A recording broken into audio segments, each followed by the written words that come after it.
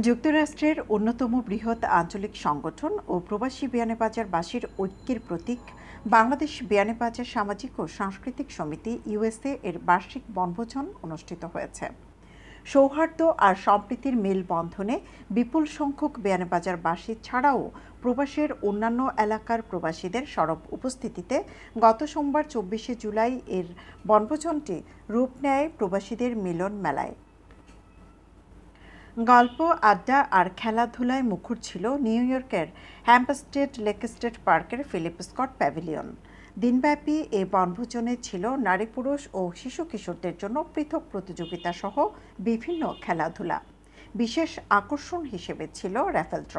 বিজয়ীদের জন্য পুরস্কার হিসেবে ছিল iPhone fourteen pro max New York, Bangladesh return ticket, laptop, TV, mixer machine সহ সতেরোটি আকর্ষণীয় উপহার। উপস্থিত সকল অতিথির জন্য ছিল মধ্যাহ্ন ভোজের আয়োজন।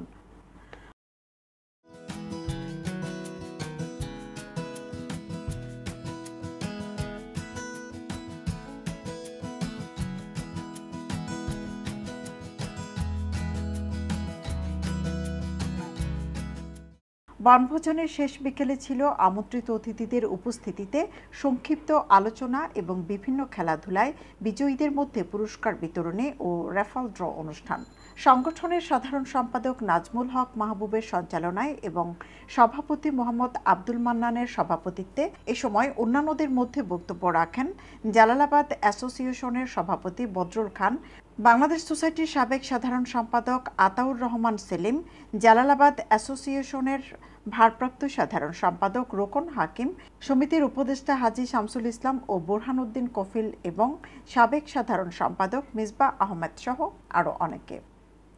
এ সময় আমন্ত্রিত বিভিন্ন অতিথিরা খেলাধুলায় অংশ নেওয়া বিজয়ীদের হাতে পুরস্কার তুলে দেন।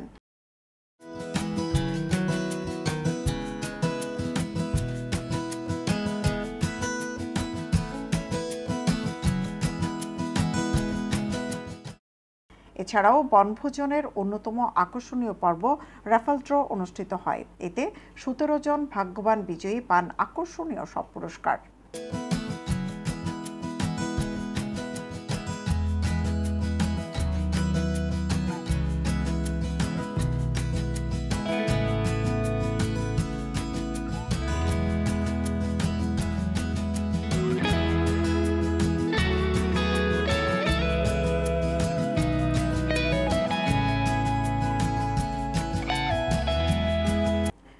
বনভোজনে অংশ নেন সমিতির সাবেক ও বর্তমান কর্মকর্তাবৃন্দ সাধারণ সদস্য সহ প্রবাসী বিয়ানীবাজারবাসী ছাড়াও নিউ ইয়র্কের বিভিন্ন আঞ্চলিক, সামাজিক ও সাংস্কৃতিক সংগঠনের নেতৃবৃন্দ।